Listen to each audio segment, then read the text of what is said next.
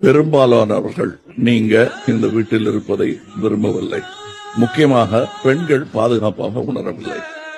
அதனால நீங்க திரும்பி போய் அங்க வாக்குவாதத்தில் ஈடுபடுவதற்கு பதிலா இங்கிருந்து அப்படியே புறப்படலாம்.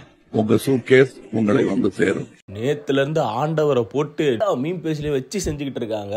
ஆனா அவரை ஏன்டா எதிக் பண்ணீங்கன்ட்டு நிறைய பேர் வந்து வெளியே ட்வீட் போட்டுட்டு இருக்காங்க. யா இதுக்கு முன்னாடி நடக்காததாடா இதுல நடந்திருக்கு.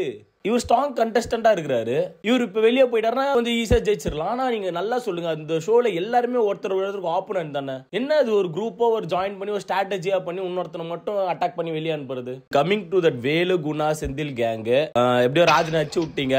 இதுக்கு மேல் என்ன? ராஜன் போயிட்டாருன்னா இதோட உங்க வாழ்க்கையில எல்லாமே நல்லதா நடக்க போகுது நீங்க நினைக்கிறீங்க. ஆனா உங்களுக்கு மறைமுகமாவோ நேரடியாவோ தாக்க போற ஒரு விஷயம் உங்களுக்கு யாருக்குமே இது தெரியல. பெரிய மட்டை அடிச்சுக்கிறோம் பேருக்கு அளவு ரிஸ்க்குங்குது இதுக்கு மேல தான் உங்களுக்கு இருக்குன்னு நான் நினைக்கிறேன். சாக்ஸ் போட்டு விடுறது லிப்ஸ் அழகா இருக்குன்றது இந்த வேலைலாம் கூட உள்ள நடக்குதுல்ல. இதுங்களை பத்தி பேசினா ஸ்ட்ரைக் வேற கொடுக்குறாங்க. நான் சொல்ற ஒரு பாயிண்ட் மட்டும் நீங்க உண்மையா பொய்யான்னு மட்டும் சொல்லுங்கண்ணா. ஓகேவா நீங்க பாக்குறவங்க சொல்லுங்க. நீங்க அங்க இருக்கிறவங்க எத்தனை பேர் நீங்க வெளியே ஒரு பொண்ணுங்களுக்கு ஒரு பிரச்சனை நீங்க குரல் கொடுத்துருக்கீங்க? அங்க நீங்க எத்தனை பேர் கொடுத்துருக்கீங்க வெளியே இருக்கிற பொண்ணுங்களுக்கு? நான் பெண்கள் சேஃப்டிக்காக போட்ட வீடியோஸ் கூட அங்க இருக்கிறவங்க ஒருத்தம் கூட பண்ணது கிடையாது. நீங்களாம் உமன் சேஃப்டி பத்தி பேசக்கூடாது ஓகேவா உள்ள இருக்கிறவங்களும் பப்ளிக் ஃபிகர் தான் எல்லாருமே.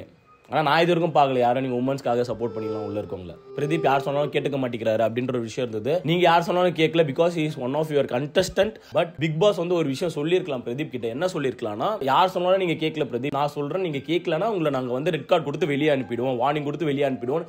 சொல்லி அதுக்கு மேல் பிரதீப் பண்ணி பிரதீப்பை வெளியே அமைச்சிருந்தா கூட ஆடியன்ஸ் அதை அக்செப்ட் பண்ணியிருப்பாங்க. ஆனால் எந்த ஒரு இதுவும் இல்லாமல் டேரெக்டாக ஒரு ரெட் கார்டு கொடுத்து அப்படி அவர் சைட்டில் இருக்கிற ஒன்றுமே பேச விடலையே. அவர் தலையாட்ட அந்த மனுஷன் பாவம் போயிட்டார் அவ்வளோதான் அந்த மாதிரி அனுப்புனது வந்து இட்ஸ் டோட்டலி அன்ஃபேர் அண்ட் உங்களோட கமெண்ட்ஸ் நீங்க சொல்லுங்க. பிரணவோட கமெண்ட் பாக்ஸ் வந்து பிரணவுக்கு மட்டும் சொந்தம் கிடையாது. நானும் புலம்புவேன் நீங்களும் ரே புலம்புங்க. எல்லாம் முதுல குத்துறாங்க வாழ்வு தேடிடும் குருட்டு உலகமடா. இது கொள்ளையடிப்பதில் வல்லமை காட்டும் இருட்டு உலகமடா. தம்பி தெரிந்து நடந்து கொள்ளடா. இதயம் இருந்த மருந்து